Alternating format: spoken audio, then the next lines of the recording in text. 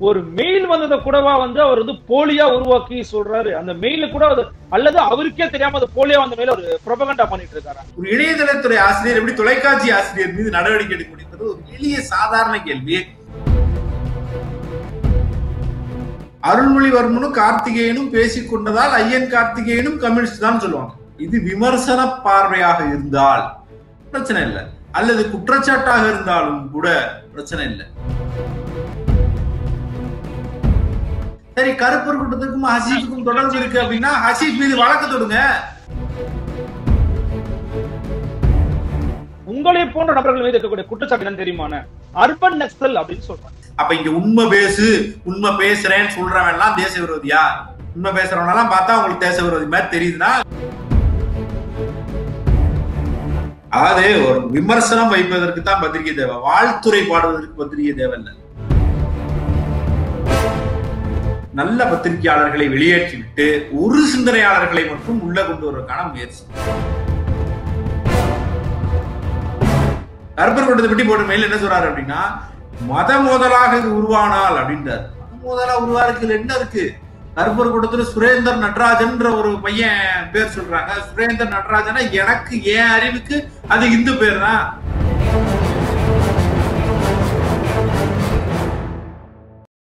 தமிழின் number one YouTube channel Aadhan Tamil நேர்களுக்கு அன்பு வணக்கங்கள். இன்று நம்முடைய ஆதன் தமிழ் சிறப்பு நேர்காணல் பகுதியில் நம்மோடு இணைந்திருக்கக்கூடிய சிறப்பு விருந்தினர் யூடர்ன் பத்திரிகை ஆசிரியர் மரியாதைக்குரிய திரு ஐயன் கார்த்திகேயன் வந்திருக்கிறார் வாருங்கள் அவரோட ஒரு சிறப்பு நேர்காணல். வணக்கம் ஐயன் கார்த்திகேயன். வணக்கம். நலமா இருக்கீங்களா? எப்படி இருக்கீங்க? நல்லா இருக்கேன். நீங்க எப்படி இருக்கீங்க? நல்லா மகிழ்ச்சி. ரொம்ப நலமா இருக்கேன். தொடர்ந்து ஊடகத்துல ரொம்ப வலிமையான கருத்துக்களை ஊடகவியலாளர்கள் சார்பாக தொடர்ந்து நின்று எழுதியும் பேசியும் வரக்கூடிய நபரா திகழ்ந்து திகழ்ந்துட்டு வரீங்க. இந்த நேரத்துல உங்ககிட்ட மிக முக்கியமான ஒரு சில கேள்விகளை முன்வைத்து தான் ஆதன் தமிழ் என்ற நேர்காணல் துவங்கி இருக்கிறோம். அதுல ரொம்ப முக்கியமா முதல்ல ஒரு வெளிப்பட ஒரு கேள்வி கேட்டுறேன் கார்த்திகேன் தொடர்ந்து பாத்தீங்கன்னா ஊடகங்கள் சொல்லிட்டாலே ஆஹா ஊடகங்கள் சொல்லிட்டாங்கப்பா இதான்ப்பா உண்மை அப்படின்னு நம்பிக்கிட்டு இருந்த சமூகத்துலதான் நாம எல்லாருமே நீங்களும் சரி நானுமே சரி தொடர்ந்து பார்த்துக்கிட்டே வந்துகிட்டு இருந்தோம். அப்படி தொடர்ந்து பேசக்கூடிய ஊடகங்கள்ல இருக்கக்கூடிய இல்ல இந்த விஷயம் தப்பா இருக்கு அப்படின்னு திடீர்னு ஒருத்தர் வந்து ஒரு விஷயத்த வந்து வெளிப்படையா பொது வெளியில பேசுறாரு. ஆனா இப்ப அந்த நபரே போலீங்க. அவர் சொல்றதே கேட்காதீங்க அப்படின்னு முழுவதுமா மறுதளிக்கக்கூடிய அவசியம் இங்க இருக்குதா? ஏன்னா அந்த இடத்துல நாமளும் நீங்களும் வந்திருக்கிறோம். அதாவது ஊடக மீது விமர்சனத்தை வைத்தால் அதை இந்த ஊடகம் கேட்டுக்கிட்டே இருந்திருக்கு. ஊடகவியலாளர்களே ஊடகவியலாளர்கள்ல பலருமே ஊடகத்தின் மீதான விமர்சனத்தை வைக்கிறாங்க. ஒரு செய்தியை தேவையில்லாத முக்கியத்துவம் கொடுக்குறாங்கன்னா எழுதுறோம் நாமளும் எழுதியிருக்கோம்? மிச்சவங்களும் எழுதுறாங்க. அப்ப ஊடகத்தில் இருந்தே ஊடகத்தின் மீதான விமர்சனம் வருது. பொது சமூகம் அப்படியே கண்மூடி ஏத்துக்குச்சு அப்படின்னா அது அது ஏற்றுக்கொள்ள முடியாது. அவங்களும் தொடர்ந்து ஊடகத்தின் மீதான விமர்சனத்தை வச்சுக்கிட்டே இருக்காங்க. அது பிரச்சனை இல்லை. இது விமர்சன பார்வையாக இருந்தால் பிரச்சனை இல்லை. அல்லது குற்றச்சாட்டாக இருந்தாலும் கூட பிரச்சனை இல்லை. அவதூறா இருக்குங்கிறதா சிக்கல். சொன்னது ஏதாவது உண்மை இருந்தா பரவாயில்ல. எல்லாமே பொய்னா அதாவது எல்லாமே ஆமா அதைத்தான் நான் சொல்றேன். அதாவது வந்து மெக்கார்த்திசம்னு சொல்லி இங்க அமெரிக்கால ஒரு விஷயம் பண்ணாங்க. என்னன்னா கம்யூனிஸ்ட் கம்யூனிஸ்டுகளை வேட்டையாடுறது அப்படின்னு சொல்லி யாரை வேணாலும் சந்தேகப்படுறாலாம் இவன் ஒரு கம்யூனிஸ்டா இருக்கும்னு சந்தேகப்பட்டு கூட அவர் வேலையை காலி பண்ணிடுறது.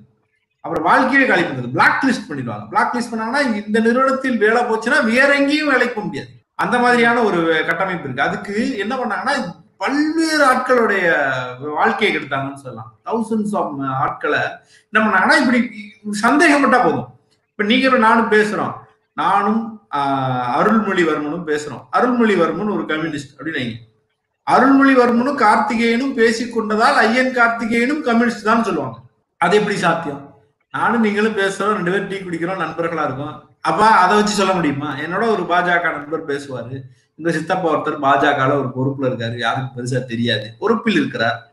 அதுக்காக என்னை வந்து அது பாஜக இருப்பாரு அப்படின்னு சொல்ல முடியுமா? இப்படி மேப்பிங் தான் அவங்க பண்றாங்க. என்ன பண்றாங்க? அவங்க மாமனார் வந்து இந்த கட்சிக்காரரு. அவங்க அத்தை வந்து அந்த கட்சிக்காரங்க. இதெல்லாம் ஒரு விஷயமா? மா மருமகளும் மாமியாரும் வெளியில போனதை ஒரு ஆய்வுன்னு போட்டுட்டா அது பார்த்து சிரிக்கிறது தானே வேலையா இருக்கு. இல்ல ஏன் அது இப்ப உதாரணத்துக்கு குற்றச்சாட்டு அந்த சித்தாந்தத்துல இருக்கிறவங்க கூட இருந்தா அந்த சித்தாந்தத்தினுடைய ஒரு ஒரு தாக்கம் இருக்கும். அதை வந்து தங்களுடைய ஊடகத்துல காட்டுறாங்க அப்படின்னு ஒரு குற்றச்சாட்டை அவர் வைக்கிறாரு. அதுல வந்து மறுப்பு. தெரிவிச்சிட முடியுமா உங்களால? தாக்கம் இருக்கும். தாக்கம் இருக்கிறனால வந்து அவங்க செஞ்சிருவாங்க. இதெல்லாம் என்ன அனுமான கதையா இருக்கு? இதை செய்தார்கள். இந்த விவகாரத்தில் தவறாக நடந்தார்கள். இந்த விவகாரத்தில் இது வந்து பார்வை மாறியது. பொய் சொன்னார்கள்.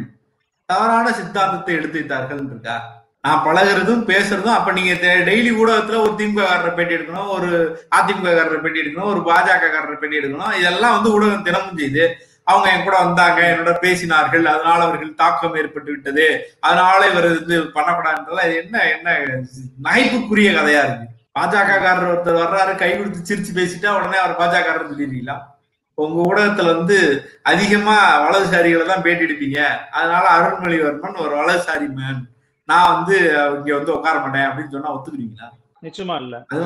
அது அதேதான் நீங்க இதெல்லாம் வந்து ஒரு ஒரு குற்றச்சாட்டு கிடையாது. அது அது குற்றச்சாட்டுனா கருப்பர் கூட்டத்துக்கும் ஹசீஃபுக்கும் தொடர்பு இருக்கு அப்படின்னு ஒரு குற்றச்சாட்டு சொல்றாரு. அது பொய் அப்படின்னு தெளிவா ஹசீப் சொல்லியிருக்காரு. சரி கருப்பர் கூட்டத்துக்கும் ஹசீஃபுக்கும் தொடர்பு இருக்கு அப்படின்னா ஹசீப் மீது வழக்கு தொடுங்க. வழக்கு தொடுத்து இதே குற்றச்சாட்டுல கருப்பர் கூட்டத்து மீது நடவடிக்கை எடுத்திருக்கீங்கல்ல? அப்ப ஹசீஃபுக்கு அவருக்கு தொடர்பு இருக்கு. ஹசீஃப் குற்றவாளின்னு சொல்லி உள்ளதுக்கு வைங்க. எஃப்ஐஆர் போடுங்க. எதுவுமே நடக்கலையே. அப்ப ஏன் பொய் சொல்றீங்க? ஏன் பொய்யான குற்றச்சாட்டு வைக்கிறீங்க? ஹசீஃபுக்கும் கருப்பர் கூட்டத்துக்கும் எந்த தொடர்பும் இல்லை. ஆனா ஹசீஃபுக்கும் கருப்பர் கூட்டத்துக்கும் குற்ற சம்பந்தம் இருக்கு சம்பந்தம் இருக்குன்னு போலியான பொய் தானே சொல்லிருக்கீங்க எதன் இப்படி சொன்னீங்க? அம்புக்குறிகளை போட்டா அது ஆதாரமாகாது. அது அம்புக்குறியா தான் இருக்கும். அதையும் விடுங்க இந்த நியூஸ் இந்த மெயில் விவகாரத்தை எடுத்துங்க. யாரோ அனுப்பின மெயிலை எடுத்து வச்சுக்கிட்டு அல்லது உருவாக்கி வச்சுக்கிட்டு அதாவது அது யாரோ அனுப்பின மெயில் இல்ல ஒரு குறுக்கிட்டு மன்னிக்கணும். இப்ப வந்து பொது வழியில வந்து ஒரு மக்களுக்கு ஒரு விஷயத்த சொல்ல வர்றாரு. இந்த மாதிரி ஒரு குற்றச்சாட்டு முன்வைக்கிறாரு அப்படின்னா ஒரு மெயில் வந்ததை கூடவா வந்து அவர் வந்து போலியா உருவாக்கி சொல்றாரு. அந்த மெயில கூட அது அல்லது அவருக்கே தெரியாம அது போலியா வந்த மேல ஒரு ப்ரொபகண்டா பண்ணிட்டு இருக்காரு? என்னதான் நடந்திருக்கும்னு நினைக்கிறீங்க அந்த விவகாரத்துல? நான் ரெ- நான் ரெண்டு விஷயம் சொல்றேன். ஒண்ணு அவர் ஏமாந்துருக்கணும். அது கூட தெரியாத அப்பாவியா அந்த அந்த அந்த போதுமான அறிவு இல்லாதவர் ஒரு மனுஷனா அவர் இருக்கணும். ஒண்ணு. அப்படி இல்லைன்னா அவர் தெரிஞ்சே உருவாக்கிருக்கணும். இந்த ரெண்டு ஆப்ஷன் தானே இருக்க முடியும். ஒண்ணு அவருக்கு யாரோ ஏமாத்து ஏமாத்தி அனுப்புனதை பார்த்து பாவம் பரிதாபம் நம்பிட்டாரு. அந்த அளவுக்கு அவருக்கு ஒரு ஒரு பெரிய நாலேஜ் இல்லை.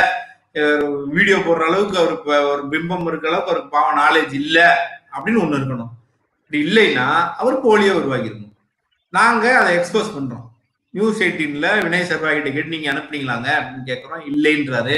அதுல ஜிமெயில்லாம் அதுல தெரியுது நம்ம கண்டுக்கூடாது. புரோட்டான் மெயில்ல இருந்து வந்தது. அவங்க நெட்ஒர்க் எயிட்டின்ல என்டபிள்யூ எயிட்டின்னு அந்த மாதிரி யூஸ் பண்றாங்க. அதையெல்லாம் தெரிஞ்சுக்கலாம். வினய் சர்வாகி வந்து ஒரு ஜூனியர் ஆபீசர் குணசேகரன் அவர்களை விட சின்ன பதவியில் இருப்பவர். அவர் நியூஸ் எயிட்டின் டாட் காம்ங்கிற ஒரு ஒரு இணையதளத்துறை ஆசிரியர். ஒரு இணையதளத்துறை ஆசிரியர் எப்படி தொலைக்காட்சி ஆசிரியர் மீது நடவடிக்கை எடுக்க முடியுங்கிறது ஒரு எளிய சாதாரண கேள்வி. அதுவுமா தெரியல அவருக்கு. இதெல்லாம் வரும். உங்களை போன்ற நபர்கள் தொடர்ந்து ஃபேக்ட் செக் பண்ணி சொல்லிக்கிட்டு இருக்கீங்கிறத கண்டிப்பா கவனிச்சிருக்க நபரா இருப்பாரு. அவருக்கு போலியா விஷயம் இருக்குன்னு தெரிஞ்சுமா அவர் வந்து வெளியே எக்ஸ்போஸ் இல்ல அதை தான் நான் சொல்றேன். இந்த ரெண்டு ரெண்டுல ஒன்னு இருக்கணும்ன்றேன் நானு. இப்ப இவர் வந்து இப்ப இவ்வளவு கூறுகள் இருக்கு. அந்த மெயில் எடுத்து பாத்தீங்கன்னா வினய் செல்வாகி குணசேகர் அவர்களோட பெரிய ஆபீசரா இருந்தாருன்னா அவர் கொடுத்துருக்கணும். அல்லது நீங்க மெயில் யாருக்கு அனுப்புறீங்களோ அவங்க தான் ரிப்ளை அனுப்புவாங்க. நான் உங்களுக்கு அருள்மொழி கம்ப்ளைண்ட் கொடுத்தேன்னா அருள்மொழி எனக்கு பதில் கொடுப்பாரு. நான் இப்ப வினய் சர்வாய்க்கு மெயில் அனுப்பியிருக்கேன். வினய் என்கிட்ட பதில் அனுப்பியிருக்காருன்னு தான் சொல்ல முடியும். திடீர்னு வானத்திலிருந்து குதித்து மாரிதாஸுக்கு வந்து மெயில் ரிப்ளை வந்திருக்குமா? அப்ப அனுப்பின மெயில் யாருக்கு அனுப்புனீங்களோ அங்க இருந்தா பதில் வரும். அது ஒரு கேள்வி இருக்கு. இது எல்லாத்தையும் விட்டுருங்க. நீங்க வந்து ஏமாறுறேன்னு அவர் தான் சொல்றாரு. அவர் என்ன சொல்றாருன்னா ஒரு ஜிமெயில்ல இருந்து வந்த மெயிலை பார்த்து ஏமாறுறதுக்கோ அல்லது வந்து யாரோ அனுப்பின அந்த விஷயத்துக்கு ஏமாறுறதுக்கோ நான் ஆள் கிடையாதுங்க. இது அவர்களுக்குள் இன்டர்னலா பயன்படுத்துற மெயில் ஐடி. அப்படின்னு அவர்தான் இந்த குற்றச்சாட்டு வந்து இருபத்தி நாலு மணி நேரத்தில் தகவல் தெரிவிச்சிருக்காரு. நம்ம சொல்லல நம்ம வந்து ரெண்டு சந்தேகம் வைக்கிறோம். பாவம் ஏமாந்துட்டாரா இருக்கலாம். அல்லது வந்து போலியா உருவாக்கிருக்கலாம். ரெண்டு ஆப்ஷன் நம்ம ஓப்பனா தான் வச்சிருக்கோம். அவர் தான் சொல்றாரு இல்ல இல்ல நான்லாம் ஏமாறுற அளவுக்கு ஆளாப்பா. அது அவங்களுக்குள்ள இன்டர்னலா பயன்படுத்திக்கிறதுன்றாரு அப்ப என்ன சொல்றாருன்னா ஏமாறல. இது ஜிமெயில இருந்து வந்தது மாதிரி எனக்கு ஏமாறுற அளவுக்கு நான் இருக்கேன். அப்படின்லாம் திரும்ப திரும்ப சொல்லும் போது என்ன ஆகுதுன்னா அப்ப இது உருவாக்கி இருக்கிறது இவரா தான் இருக்கணும். அப்படின்ற ஒரு சந்தேகம் இருக்கு இப்ப நியூஸ் எயிட்டினுடைய நியூஸ் எயிட்டின் டாட் காம் அதனுடைய ஆசிரியர் இப்ப வந்து மாரிதாஸ் மீது வழக்கு வந்து பதிவு பண்ணிருக்கிறாரு. அந்த வழக்குல பல பிரிவுகளை வந்து அவர் வந்து பதிவு பண்ணுங்க குறிப்பா பாத்தீங்கன்னா தகவல் தொழில்நுட்ப சட்டத்துல கூட அவர் வந்து பதிவு எல்லாம் பண்ணிருக்கிறாங்க. இந்த வழக்கு பதிவு நீங்க ஒரு யூட்டன் பத்திரிகையாளரா நீங்க எப்படி பாக்குறீங்க? ஒரு ஃபேக்ட் செக்கரை எப்படி பாக்குறீங்க? தாமதமா செஞ்சிருக்காங்க.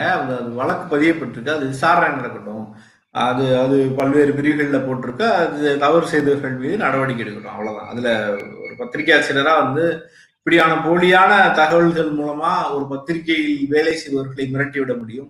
பிற பத்திரிகைகளை வேலை செய்வதை தடுத்து விட முடியும். அப்புறம் வந்து அந்த பத்திரிகை ஆட்களை வீழ்த்துவதன் மூலமாக இங்க சமூகத்துல வேற ஒரு கதையை உருவாக்கிட முடியும் அப்படிங்கிற நம்பிக்கையை உடைப்பதற்காக இந்த வழக்கு பயன்படணும் அப்படின்னு நான் நினைக்கிறேன் அவ்வளவுதான். இல்ல முக்கியமா அவருடைய ஆதரவாளர்கள் அவருடைய சார்பாக பேசக்கூடியவர்கள் உங்களை போன்ற நபர்கள் மீது இருக்கக்கூடிய குற்றச்சாட்டு என்னன்னு தெரியுமான அர்பன் நக்சல் அப்படின்னு சொல்றாங்க. அதாவது அர்பன் நக்சல்கள் தேச விரோதிகளா இருக்கிறீங்க. தேசத்துல நடக்கக்கூடிய உண்மையான விஷயங்களை வெளியில எடுத்து பேசுறாரு. அவரை எதிர்க்கக்கூடியவர்களாக நீங்க மாறிக்கிட்டு இருக்கீங்க. வெளிப்படையா அர்பன் நக்சல்னு சொல்றாங்க உங்களெல்லாம். அதுதான் நான் சொன்னேன். அதான் மெக்கார்த்திசம். மெக்கார்த்திசம்ங்கிறது என்ன அப்படின்னா ஒரு நபர் மீது உங்களை பிடிக்காத நபர் மீது கூட இல்லாத குற்றச்சாட்டுகளை வைக்கிறது. ஒரு பேஸ்லெஸ் அலிகேஷனை வச்சு அவங்கள கெரியரை காலி பண்றது. நீங்க எல்லாம் எழுத்து கேள்வி கேட்கறாங்க. தப்புன்னு என்ன சொல்லு? ஆன்டி நேஷனல் சொல்லிடு. ஆன்டி நேஷனல் தேச விரோதிகள் தேசத்திற்கு இவர்கள் லாயலா இல்ல. தேசத்துக்கு விசுவாசமற்றவர்கள் அப்படின்னு சொல்லு அப்படின்ற ஒரு நிலையை உருவாக்குறாங்க. அதே தான் அங்கேயும் நடந்துச்சு. டிஸ்லாயல் சொன்னாங்க. நாட்டுக்கு டிஸ்லாயலா இருக்க நீ கண்ட்ரிக்கு அப்படின்னு சொன்னாங்க. அதே தான் இவர்கள் விசுவாசமற்ற தேச விரோதிகள்ன்றாங்க. கேள்வி கேட்கிற பத்திரிகையாளர் எல்லாம் தேச விரோதிகளாக எப்படி மாற முடியும்? பொய் சொல்லாதப்பா அப்படின்னு சொல்ற பத்திரிகையாளர்கள் எப்படி வந்து தேச விரோதிகளாக மாற முடியும்? புரளியை பேசாதேன்னு சொல்லுகிற பத்திரிகையாளர்கள் எப்படி தேச விரோதியா மாற முடியும்? அப்ப இங்க உண்மை பேசு உண்மை பேசுறேன்னு சொல்றவன் எல்லாம் தேச விரோதியா உண்மை பேசுறவனெல்லாம் பார்த்தா உங்களுக்கு தேச விரோதி மாதிரி தெரியுதுன்னா சிக்கல் எங்களிடம் இல்லை சொல்பவர்களிடம் இருக்கிறது என்று நம்புகிறேன். சரி இப்போ உதாரணத்துக்கு நான் இந்த துணை கேள்வியாவே கேட்டுடுறேன். இப்ப அவர் வந்து ஆஹ், மத்திய அரசை ஆதரித்து பேசுகிற நபராக இருக்கிறார். மத்திய அரசை எதிர்த்து அல்லது மத்திய அரசு செயல்பாடுகளை விமர்சனம் பண்ணக்கூடிய உங்களை எல்லாம் அர்பன் நக்சல்னு சொல்றாங்க. இப்ப யார வந்து நீங்க பத்திரிகையாளர் சொல்றீங்க? பத்திரிகையாளர் அப்படிங்கிறவரு சார்பு நிலை எடுக்க கூடாது அவர் ரொம்ப நடுநிலைவாதியா இருக்கணும் அப்படின்னு அவர் வந்து பல இடங்கள்ல பேசியிருக்கிறாரு. அந்த கருத்தை நீங்க உடன்பட்டு போறீங்களா? நம்ம வந்து கேள்வி எதிர்த்து நின்று சண்டை போடலைங்க. நம்ம வந்து எதிர்த்து கேள்விகளை வைக்கிறோம். ஒரு ஒரு திட்டமும் சட்டமும் இயற்றக்கூடிய இடத்தில் இருக்கிற ஆளுங்கட்சி மீது அதிக விமர்சனம் வரும். எதிர்க்கட்சியால ஒரு திட்டத்தை கொண்டு வர முடியுமா? அல்லது ஒரு சட்டத்தை இயற்ற முடியுமா? முடியாது.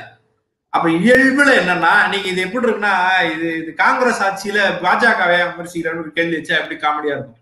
அப்ப இங்க ஈழ விவகாரம் போய்கிட்டு இருக்கு. அப்ப காங்கிரஸ் மீது தான் நீங்க எழுதிருப்பீங்க விமர்சனம். நான் அப்படித்தான் எழுத முடியும். நான் அவர்கள் மீதான விமர்சனத்தை வச்சிருக்க முடியும். அன்று இங்க வந்து திமுக இருக்கு அப்ப திமுக நோக்கி தானே கேள்விகள் இருந்திருக்கும் ஏன் இதை இப்படி செய்தீர்கள்? ஏன் அப்படி செய்தீர்கள்ன்ற கேள்வி இருக்கும். அப்போ உட்காந்துட்டு ஏன் நீ பாஜக விமர்சிக்கல? அப்படின்னா அது என்ன அர்த்தம்? இங்க மீனவர்கள் வந்து மீன் பிடிக்க போனவங்க எல்லாம் அங்க சுட்டு வீழ்த்தப்படுவதும் பிடிச்சிட்டு போறதுமா ஒரு பிரச்சனைகளா இருந்தது. அப்ப நம்ம என்ன கேள்வி எடுத்திருந்தோம் மீனவர்களுக்கு என்ன பிரச்சனை? ஏன் பார்க்க மாட்டேங்கிற? அப்படின்னு காங்கிரஸை நோக்கியும் இங்க இருந்த திமுக மீது தானே கேள்வி வைக்க முடியும். அப்ப ஏன் அதிமுக விமர்சிக்கல? அப்ப ஏன் பாஜக விமர்சிக்கலன்னா எவ்வளவு காமெடியா இருக்குமோ அதை இப்ப நீங்க செஞ்சுட்டு இருக்கீங்க. சரி நீங்க ஆளுகின்ற அதிமுகவின் போதோ ஆளுகின்ற பாஜகவின் போதோ வெறும் குற்றச்சாட்டை தான் முன் வைக்கிறீங்க.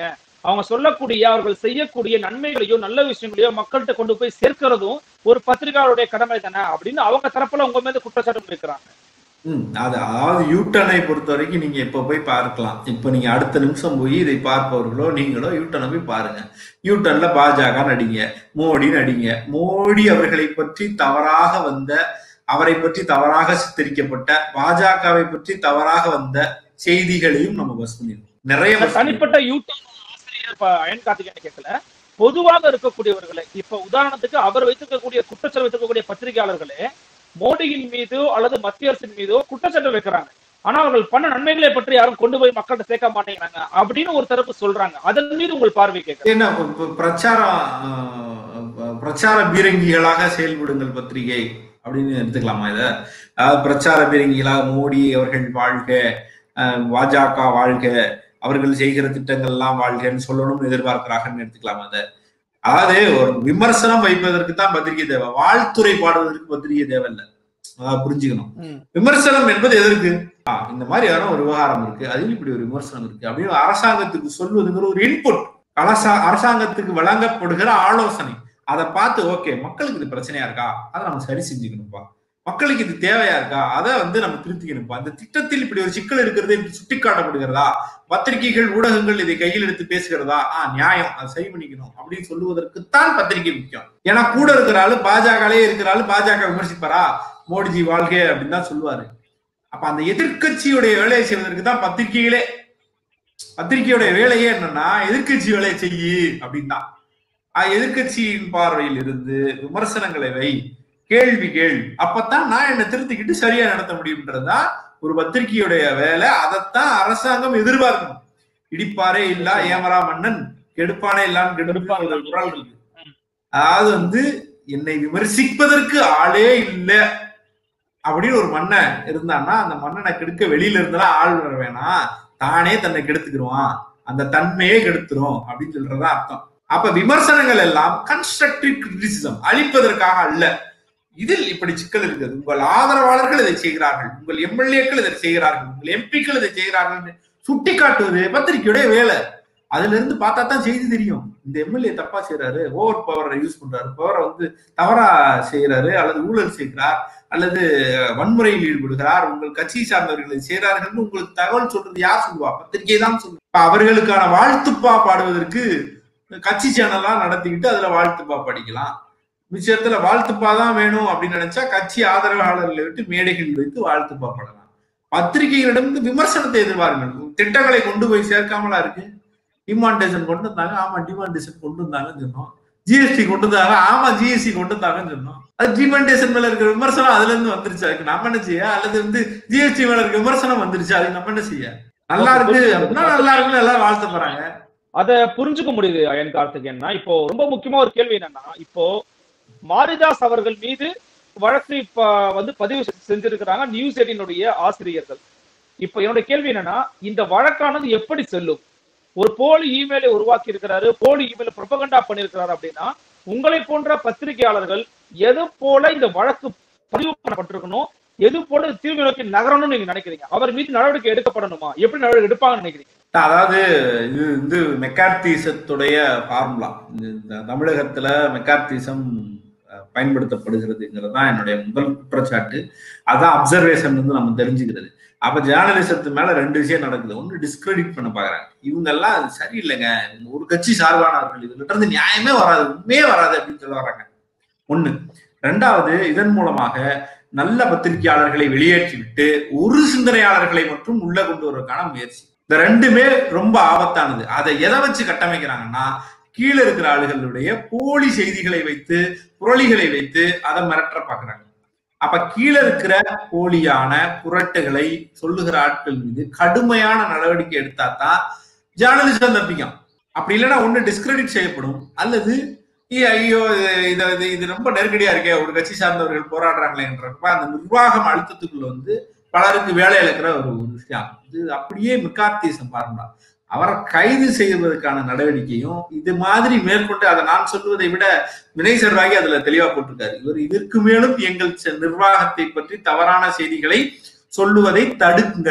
முதல்ல இவ்வளவு நேரம் ஒரு நிறைய எங்களை பற்றி தவறான செய்திகளா எங்க ஆசிரியர்களை பற்றி தவறான செய்திகளா நாங்க பயாஸ்டா இருக்கிறோம்ன்ற மாதிரியான விஷயங்கள்லாம் சொல்லியிருக்காரு. அது மட்டுமல்லாமல் ரிலிஜியஸான கான்ட்ராவர்சியை உருவாக்க முயற்சி செய்யறாருன்னு சொல்றாங்க. இதுல அவர் ஒரு மெயில் போடுறாரு அந்த ஒரு ஒரு ட்விட் போட்டிருக்காரு கருப்பர் கூட்டத்தை பற்றி.